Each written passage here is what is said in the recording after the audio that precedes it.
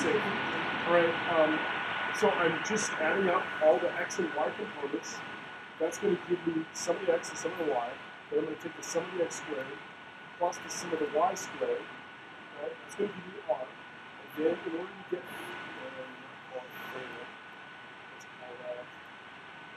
psi. In order to get psi, I have to take the inverse tangent. And when I say psi, I mean like whatever this right there. It's going to be the inverse tangent of the sum of the x's over the sum of the y's.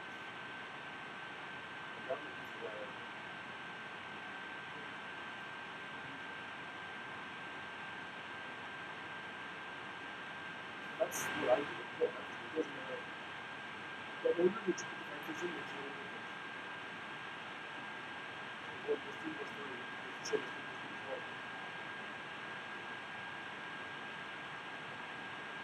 if you take these three vectors and like move them around, switch them, so that start off with this one.